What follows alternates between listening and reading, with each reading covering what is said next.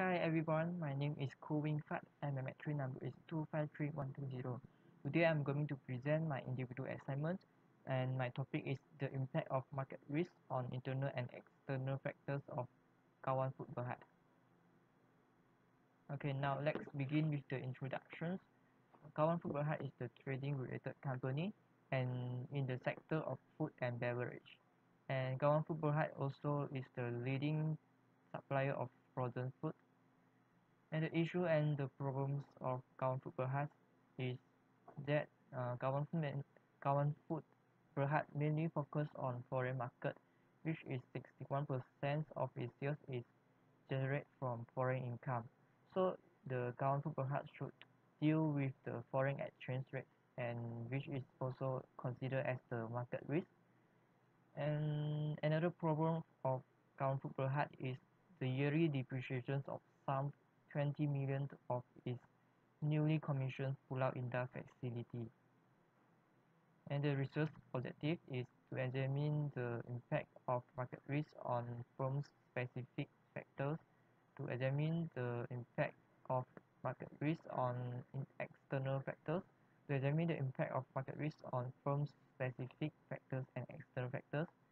And the research questions is that what are the impacts of market risk on firm-specific factors, external factors, and also the both of the specific factor and external factors.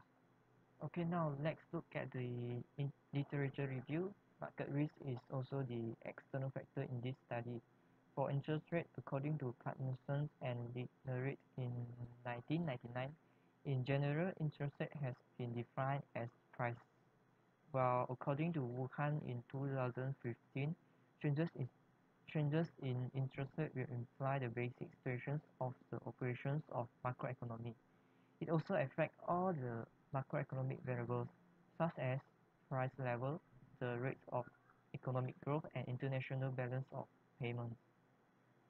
For the GDP, gross domestic product, according to Mallet uh, 2012, GDP is used measure the monetary value of final goods and services, that is, those end products that are bought by the final user which is produced in a country by a given period of time.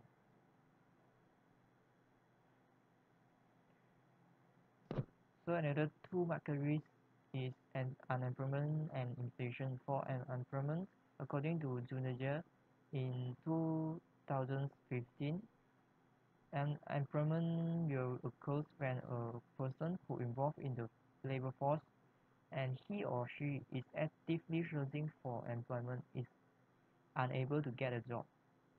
For inflation, according to Akisola 2017, inflation means the constantly increase of level of price of goods and services from time to time.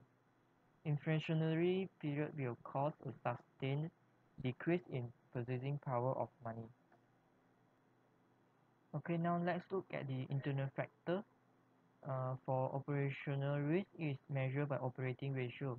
The operating ratio is indicate whether the company's management has performed efficiently by dividing the total operating expense of a company by its net sales.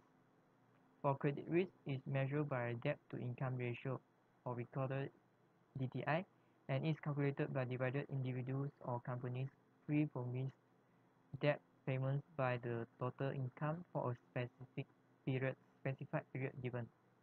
For liquidity risk is measured by current ratio which can be calculated by dividing the company's current ratio to its current liabilities.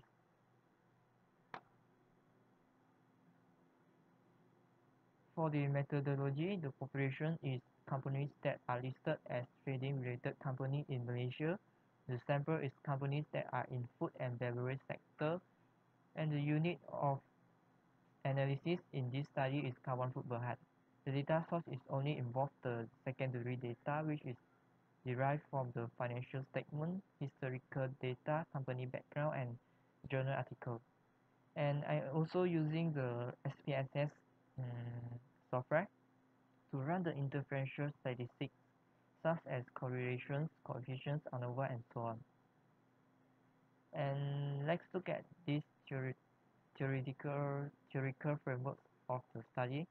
As you can see here the in, independent variables is internal factors external factors and also the both internal and external factors.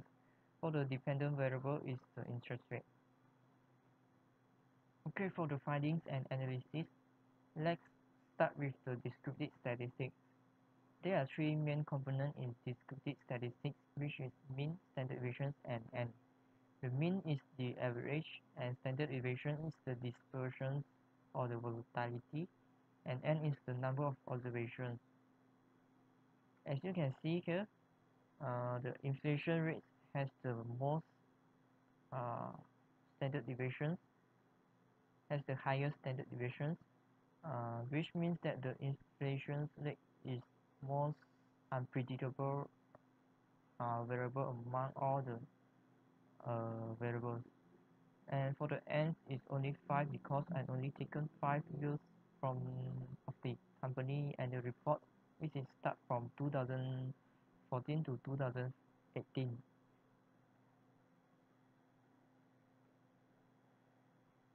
so for the correlations it shows that which variable is related to the independent variable which is interest rate interest rate.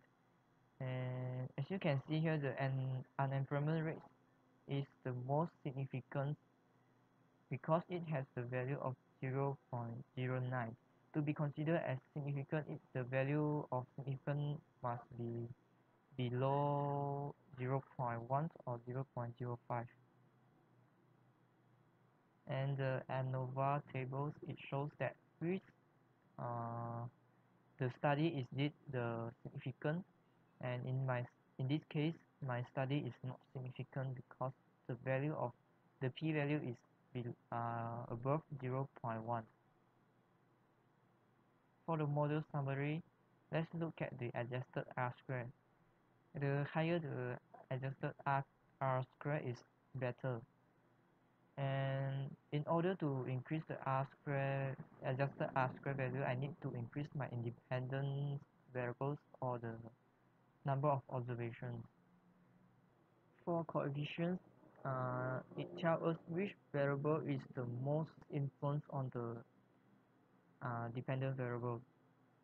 And we need to look at the t-value which one is the highest and un unemployment rate has the highest t-value and it means that unemployment rate has the highest influence on the interest rate as a conclusion external factor has the most significant impact on the interest rate which is the dependent variable this is because the significant value of external factor that illustrated in the ANOVA tables is lowest among internal factors, external factors, and both internal and external factors.